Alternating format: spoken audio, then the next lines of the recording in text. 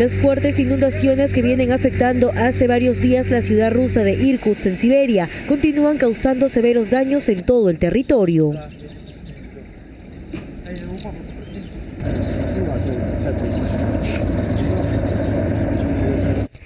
Las lluvias torrenciales no dan tregua y tienen bajo el agua al menos 55 poblados, donde a diario incrementa el número de fallecidos, heridos y desaparecidos.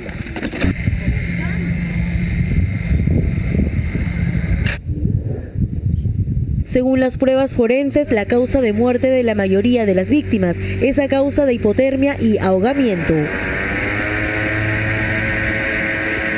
Debido a los potentes aguaceros, más de 4.000 viviendas resultaron dañadas, por lo que cientos de habitantes se han visto obligados a evacuar hacia zonas más seguras.